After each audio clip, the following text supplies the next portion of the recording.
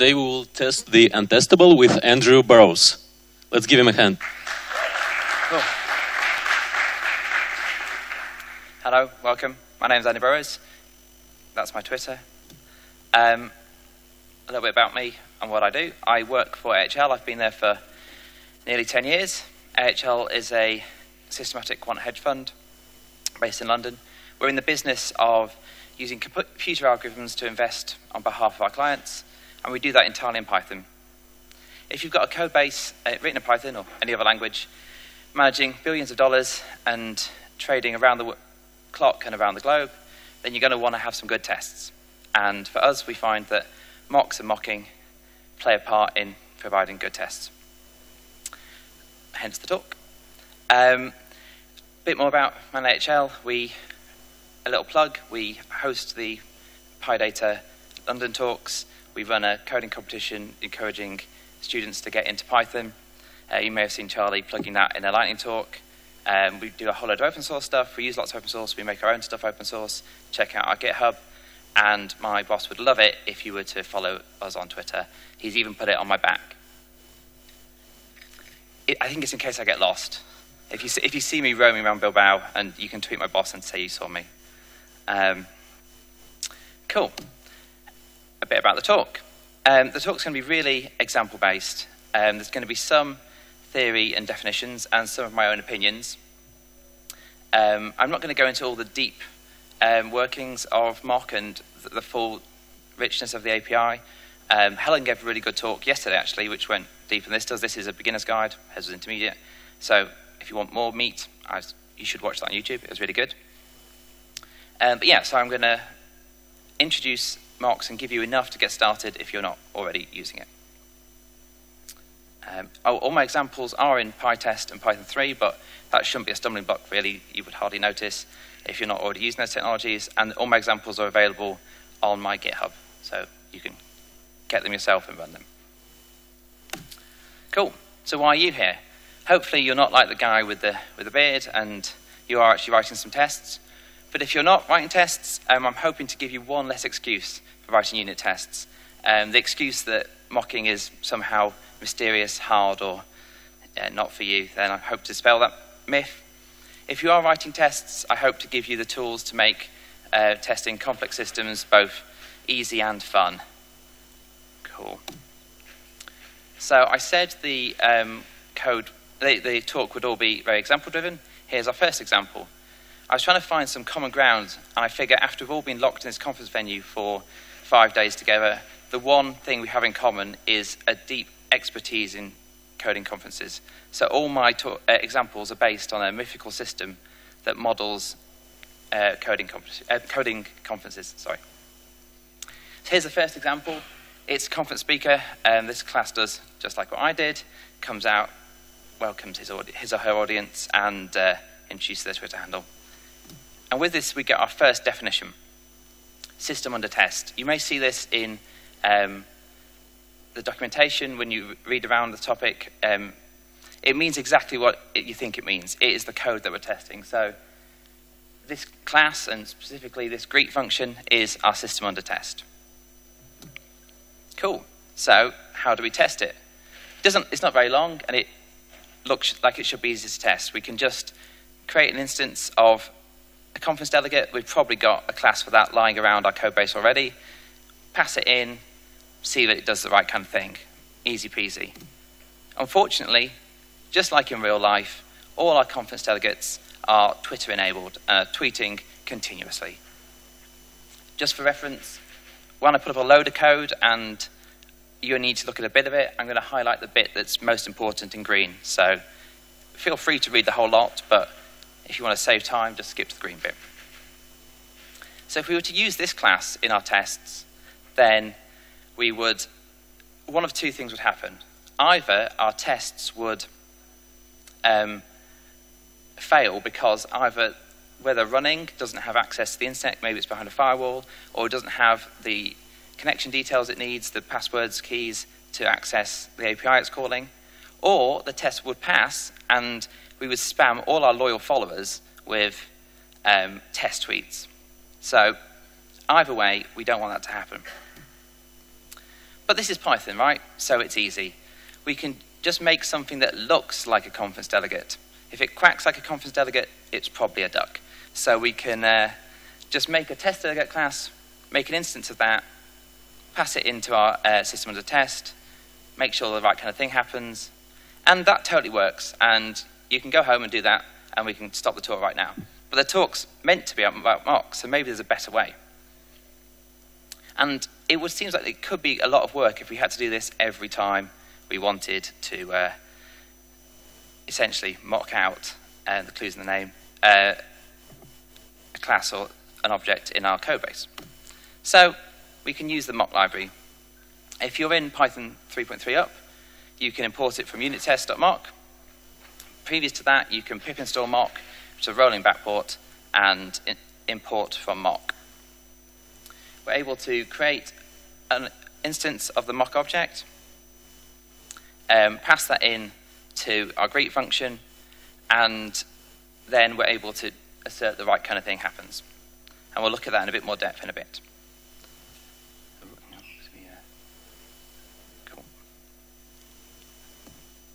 Cool. So let's have a quick detour and actually look at what we've got with these mock objects. The most important thing you need to know about mock objects is that everything on a mock object is another mock object. Every attribute is a mock object. Every method is a mock object. Every, the return value of calling it is a, is a mock object.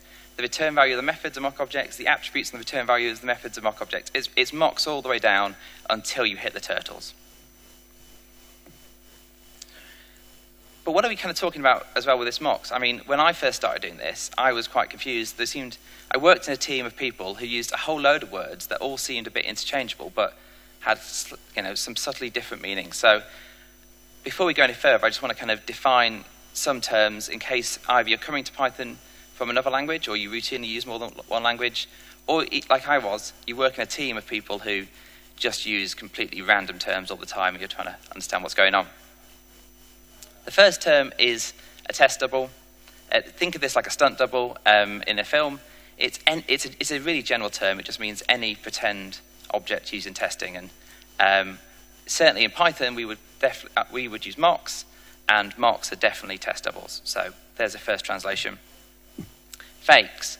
Fakes aren't, mocks aren't fakes. Fakes are you, uh, when you fake something, you're using a real implementation, but it's taking some sort of shortcut. So maybe you're using an in-memory database instead of the real thing. So that's not what we're talking about, but you might hear it. Dummy values. In Python, dummy values are sentinels, and we'll cover those in a bit. We use these they, um, to pad out argument lists to trace the flow of data through our code, and you'll see that used. Mocks, now that's what we are talking about. We've just seen one in action. It's, um, it has no real kind of implementation or any pretense at implementation. It, but it records everything that happens to it, and uh, you, you, get to assert on that later if you want to. And then closely associated, and certainly in Python we use the same object, we use mocks for stubs. Stubs, in the kind of wider world, and talk about this, um, a stub has more implementation behind it. It makes more of an effort to pretend to the system of the test that it's the real deal. And we can implement a stub in Python using a mock and we, uh, with, a side, with a side effect. And we'll see that. Um, and for spies, spies are mocks. That, as, as, far as we're concerned, let's, let's not uh, split hairs.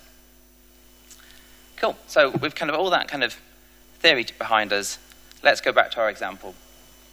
In Python, we use action assertion mechanics, which is a slightly fancy term to mean that first we arrange our test environment, then we cause our system of the test to act on it, and then we assert that um, the mocks saw the behavior we expected. And it's really important to notice that what we're doing here with mocks is we're actually asserting on the behavior. So we're asserting on what got called, not what the state of the final system was. Here I use one of many asserts that are built into mock. I use assert called once with. There's a whole range of them. I'm not going to go into all of them here. You should check out the docs. The docs are really good. Or Helen's talk yesterday um, went through a good number of them and provided a good overview. I'm just going to show you my two favorites, um, slightly opposite ends of the spectrum.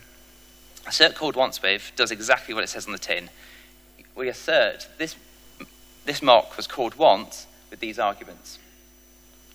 Um, and if it's called less than once, uh, or more than once, or the, with different arguments, it fails. At the other end of the spectrum, the kind of superpower of, uh, of these assertions is mock calls. Uh, what mock calls does is it records every call to your mock and to all child mocks, and it records the order of them. So in the example at the bottom, I'm just in an interactive shell. I make a mock, I make various calls to it and its children, and then I get to see what the mock calls are, and I could assert on that. And you, and you notice that it, it's found everything I did, and it knows the order they happened in. So that can be really powerful, and there's pretty much nothing you, can, you can't test with that.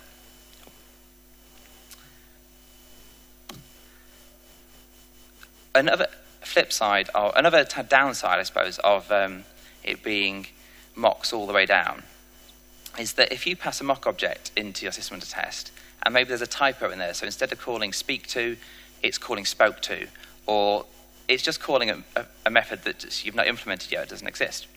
The test may still pass because mock will create those methods, those attributes on the fly for you. If you want to limit um, your mocks to only having the same interface as your real code, you can do that by specifying a spec in the constructor of the mock. And this is the interface, essentially, you want for your, for your mock. Yeah. In the example, I, uh, at the bottom, I just interactively create a mock that has the same spec as a conference delegate, then try to get it to snore loudly in, in, the, uh, in the session, and it fails because you definitely can't do that. Cool. Right, so uh, let's have a look at a harder example. Before we saw our conference delegate class, and we highlighted that it, we couldn't use it in our other tests because it was tweeting. What if we want to, so we just mocked it out completely. What if we want to um, actually test this class? So we've got the same problem. It's going to tweet all the same problems. So how can we do it? Well, we're going to use a mock, of course, but last time we were able to just pass our mock objects into the system of the test. This time we can't do it. The thing we want to mock, which is almost certainly simple tweeter, um, isn't passed in, it's imported. So how are we going to get our mocks into this code? We do it using Patch. Um, Patch is a great tool. It, uh, what it does is it replaces the specified object with a mock, and then at the end of the patch, it puts it back to normal, so completely covers its tracks. Um, so what we're able to do is we're able to patch simple call the system as a test, and then assert as before. And that, and that mock gets created and injected into the right part of the code. The one gotcha is that you have to get that string, that specification of what you want to patch, correct. And you have, it has to match how the code is used in the system under test.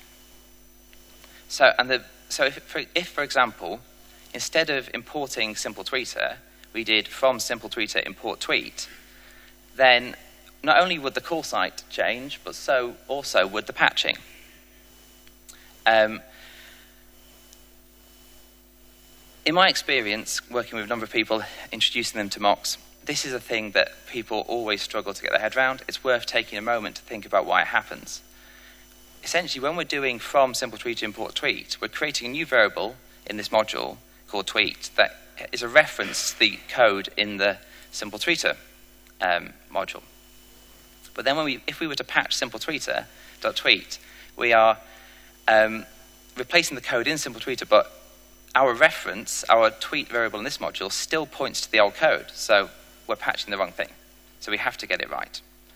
Uh, it, you don't need to get it wrong many times before you uh, kind of spot what you're doing and learn, but it's worth looking out for and worth thinking about. Another thing to notice with this example that I was showing is that I'm using a Sentinel. I mentioned before that um, Sentinels are the kind of Python word for dummy, dummies, and what we do here is we pass a Sentinel into the initializer, and we check that it comes out um, in the call to tweets. It's a bit like kind of dropping balls on the top of some sort of machine and seeing which hole at the bottom they come out of, and can be really handy. Another use for them is just to pad argument lists to calls when the values aren't important to the code you're testing. I really love Sentinels, by the way. They're brilliant. You should use them. They're great. Um, okay, let's dig a bit further into our uh, fictional application and look at the wrapper simple tweeter that we've built around uh, our tweeter API. What it's doing is it's adding just a, simple retry functionality on top of the underlying API. The underlying API would return false if it failed to send a message, whereas you can see this code is, is picking up on that and trying five times to um, send a message regardless. Um, we can write some tests for this. Um, we want to, I've said before that um, the return value of every call to a mock is another mock, but you can override that and you can actually set the return value. So here I set the return value to false, and that means every call to tweet will fail, and then I can assert that um, all uh, uh, that, that it, try, it tries but fails and ultimately gives up. Also notice in this example that I've been using patch this time as a decorator instead of a context manager as I did before. Cool. These, um, these two things are completely interchangeable. Um, you can use them, uh, they work exactly the same. One reason you might use patch as a decorator, um, especially if, you've got, if you're patching more than one thing, is if you're using it as context manager, your code would, slow, as you had more and more patches, your code would slowly disappear off the side of the screen, whereas, of course, stacking them up as decorators, you don't have that problem. But they're interchangeable, you can do both, they work the same way. Cool. Here's a lot of kittens. Oh, don't you love kittens? Cool. All right, what if we want to test this retry functionality? We don't want it to always fail. Um, we want it to succeed sometimes. So we, we want it to succeed on the third attempt.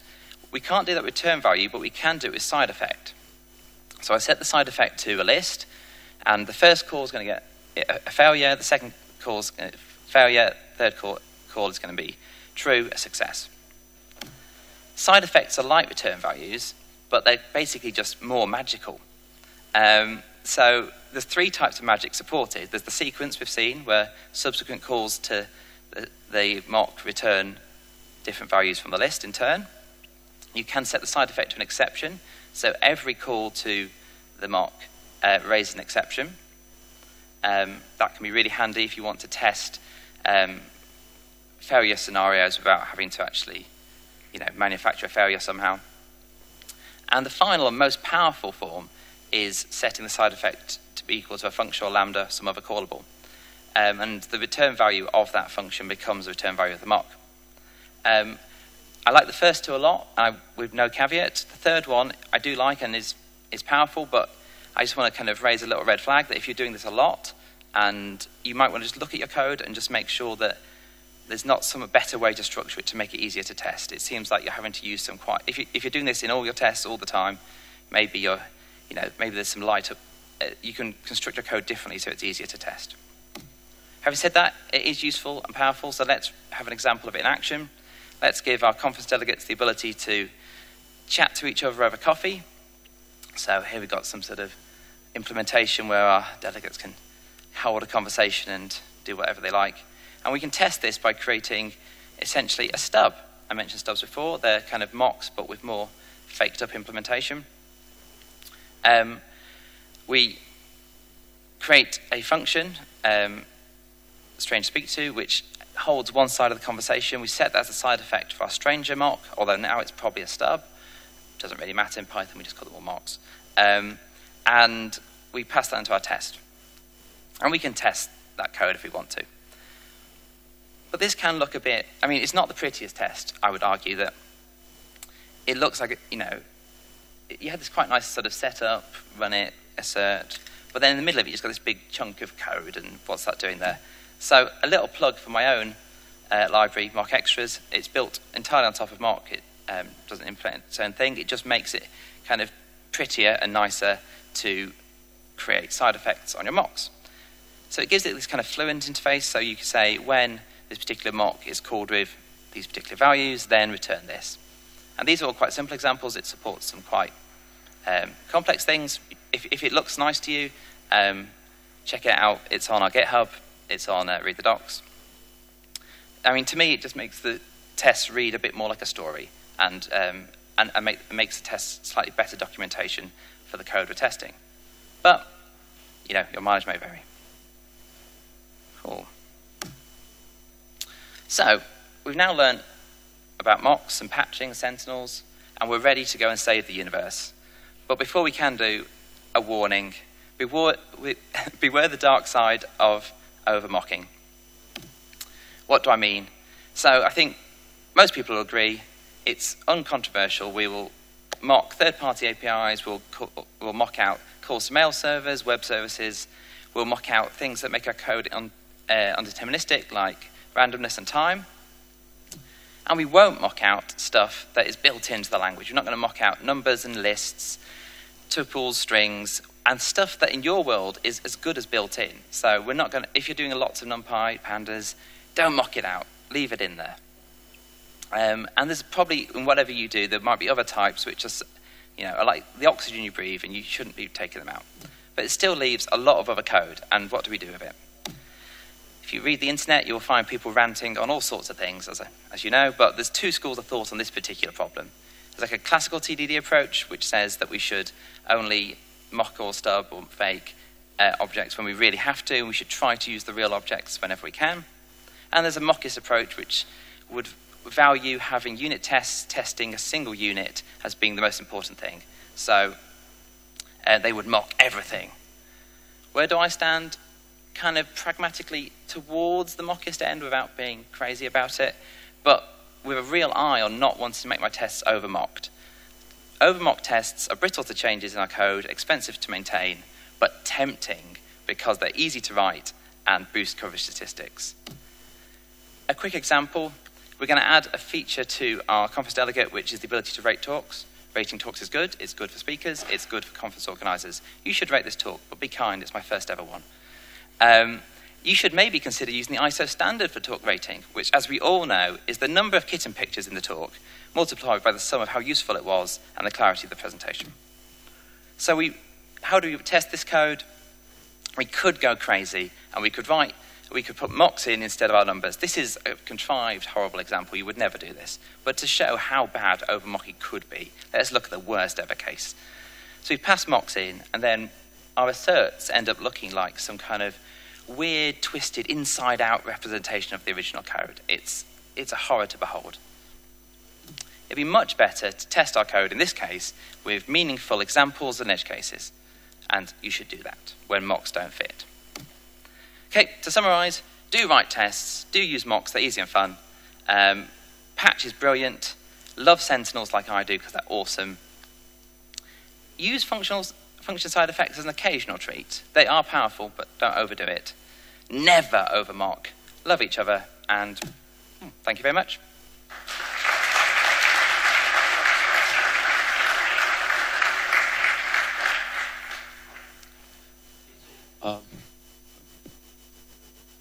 Uh, I believe that we have some time for some questions, so do you have any?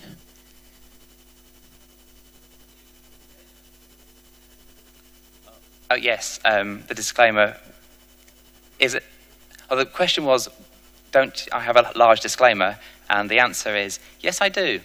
Um, it's a side effect of working in the finance industry, I'm afraid. But basically, to summarize it, it says if you use this talk as investment advice, don't. But do read it, don't base on my summary. I don't want to undermine the small print. Okay, any other questions? Okay. Oh. Maybe it's an easy one, but uh, I was just wondering what's the real difference between magic mock and mock? Oh, I've seen it around I, a lot. I kind of skipped over that. Um, so here I use magic mocks. Magic mocks are just the same as mocks, but they also mock most of the um, so-called magic or dunder methods. So they're kind of the operator overloading in Python. So because here I wanted to test that things were multiplied by each other and added to each other, and that's the dunder mul and dunder add methods, um, I need to use a magic mock. Um, as a quick aside, Patch always puts magic mocks in, but really you don't ever need to worry about the difference. They just kind of work. Okay, any other questions? Okay, if you don't have any questions, uh, uh, this talk will be followed by the uh, lightning talks. So in 15 minutes. So let's uh, thank one once more, Andre. Thank you.